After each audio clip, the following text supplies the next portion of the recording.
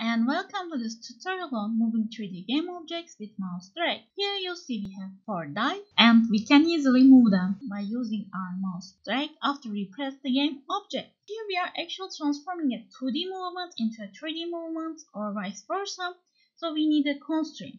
And in this video the constraint is not changing the perpendicular distance between the game object and the camera's XY plane. Here I see my game object does not change. It is perpendicular distance between its position and the xy plane of the camera. And the xy plane of the camera is represented by this cube. So here is y direction and x direction and they create the xy plane. The cube is the child of the main camera and it has the same orientation with the camera. I can move any game object and the distance will not be changed among them. So the main camera in the orthographic projection mode and when I move my game object, it is how it is look like and how it is rendered out by our camera does not change. If I were to set the projection mode to perspective mode, I will see different sides of the dice and also I will see kind of different sizes and again it is what perspective does, it changes how we perceive the game object from its position. And to keep the system more simple, I am orthographic camera, but you can use perspective camera for your projects if you would like. And after that, just a very quick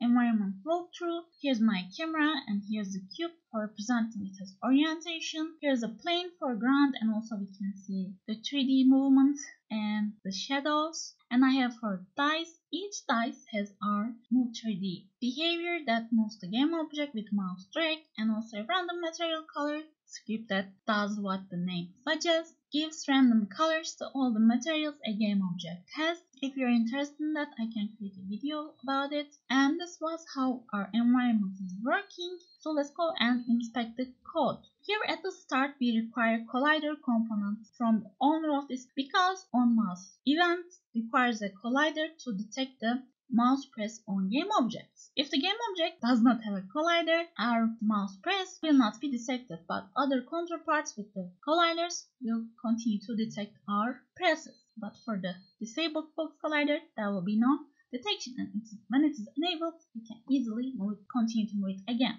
So our behavior has two variables. One, main camera to store the camera main reference and also we have camera z distance. So this is the part that it gets a little bit tricky. For a camera to transform a 3D space to 2D space, there happen some transformations. And when you want to transform some kind of positions, you again apply these positions with the camera's method called world to screen point or screen to world point in our case. World to screen point transforms a point, a vector three, a position from 3D space to 2D space and screen to world point transforms a screen position to world position such as screen position world position. These position transforms goes through these windows actually. Here we are transforming game objects position from world space to screen space and we are storing that screen space transforms z value in our camera z distance. So this is a world to screen space transformed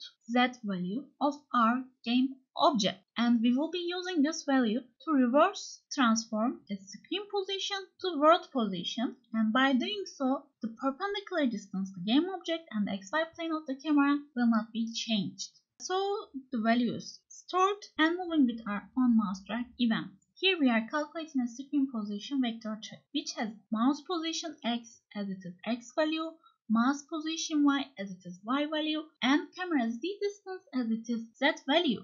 In screen space, there is no z values. Z value of the mouse input, for example, always is 0. And to reversely transform a 2D value to 3D value, a world space value, we need one more values. And this value is the value that we already calculated at the start by the reverse transforming world space to screen space of our game object's position and we are setting it to our screen position and after that we are transforming the screen position vector from a screen point to a world point using camera's screen to world point method and from there on now we have our game objects positioned in the world space. Again, here is the screen space and here is the world space. And we are now have our world space position for our game object and setting this value to position for our game object. Throughout the on mouse drag event, all these calculated continuously. This is how our behavior works. There is two points that you can tweak around with this behavior. One, very straightforward. You don't need three lines of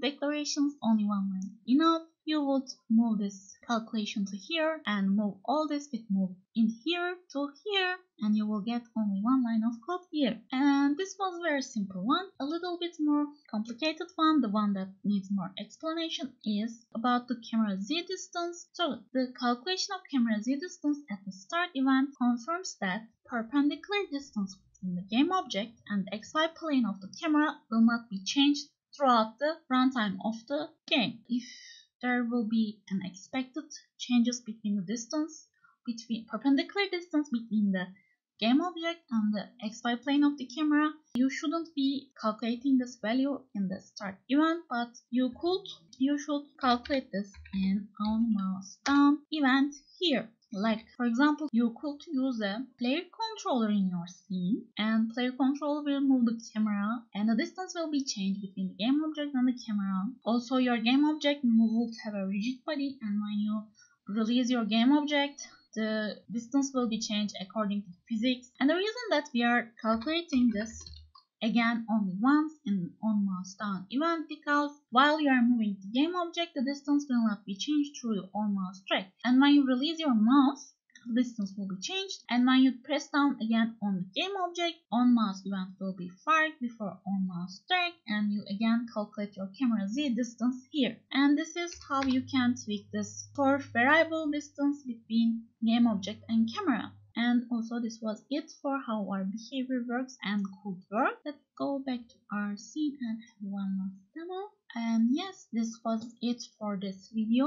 I hope that it will be helpful in your projects. And if there is a point please let me know in the comments down below. The transform part's a little bit tricky. I hope that i could explain them but if there was a point not clear let me know again in the comments down below. And if you like this video please give it a like and consider subscribing to this channel for new videos to come. For example for the dice series i'm planning two more videos. Second video will be about rotating the game object with mouse direction. For example, when I am moving this dice to this direction, I am expecting it to be rotating around its center also. And at the last video of the dice series, we will be calculating which side of the dice looking up when it falls down to the ground. If you're interested in that kind of thing, I suggest you consider subscribing again. And yes, this was it for this video. I hope to see you in the next explorations and bye bye.